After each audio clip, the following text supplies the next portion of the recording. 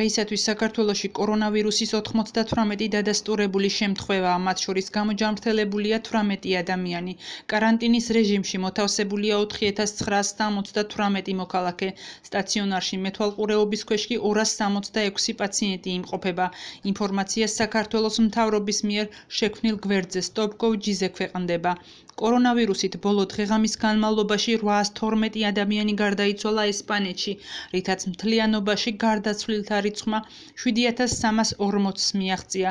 ინფორმაციას ალ-ჯაზირა აქვეყნებს. ქვეყანაში დადასტურებული ინფექციის შემთხვევები 78797-დან 85195-მდე გაიზარდა, რითაც ჩინეთის მონაცემებს გადაასწრო. დადასტურებული შემთხვევების რეიტინგში ესპანეთმა ამერიკისა და იტალიის შემდეგ მესამე ადგილი დაიკავა.